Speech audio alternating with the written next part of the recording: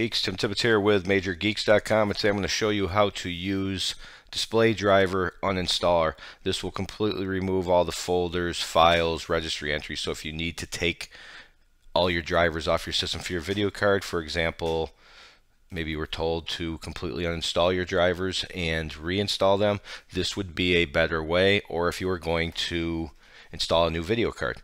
So you double click the program to start it and it's a very well thought out program.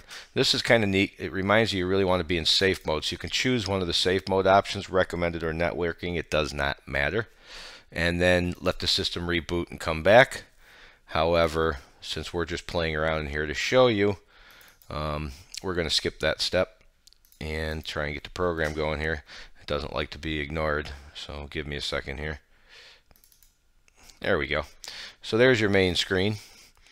As you can see, you have your logs, uh, all sorts of options here. Pick your video card, NVIDIA, AMD, or Intel. And before you go on, hit your options over here.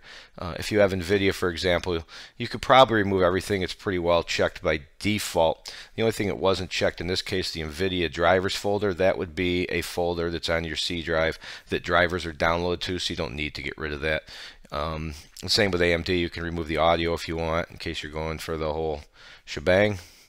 And again, the same AMD drivers is the same as the NVIDIA drivers here and here.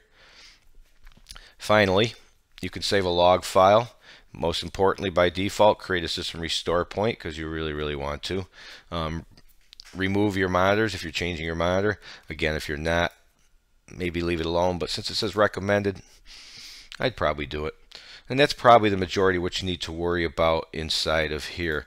So then you're just going to come back to here and make your choices. Now you can clean and restart. Always recommended because the complete removal does not end until you've completely restarted. Clean and do not restart if you're an advanced user and have something you want to play around with when you're finished. And clean and shut down, which is absolutely perfect if you're got your brand new shiny video card sitting here in a box you want to get everything out of there, shut it down. When the computer shuts down, you put your new video card in. And finally, you can set the Windows Automatic Driver installation to default. That might be handy if you're doing some work and you want to just make sure you at least got a, a, functioning driver. It's not the best driver, but at least it's a Windows default driver.